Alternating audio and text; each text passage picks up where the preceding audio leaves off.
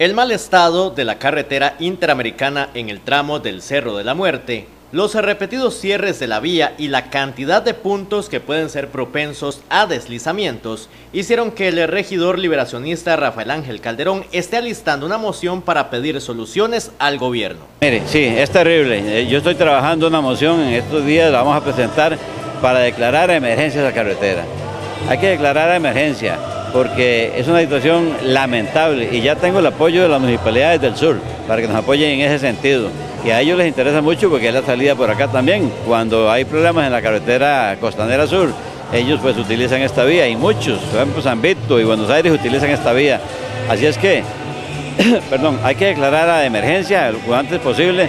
En estos días vamos a presentar una moción, yo le voy a hacer llegar a ustedes el contenido de la moción para ese sentido. Calderón considera urgente una intervención en esta carretera que se convierte en una de las vías más transitadas para salir e ingresar de Pérez Celedón y la zona sur. Hay que hacer presión ante el gobierno para que se tomen las medidas del caso.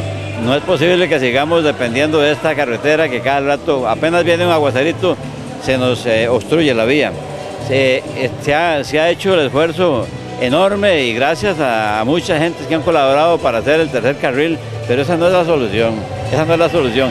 Tenemos el problema de los taludes arriba, eh, que, se viene a la tierra, se viene. Ahí hay un problema serio, nos está pasando igual que lo que está pasando en la 32, exactamente. Sectores como la hortensia han ocasionado problemas durante los últimos meses, provocando el cierre de la carretera y así otras zonas también fueron un dolor de cabeza en el pasado.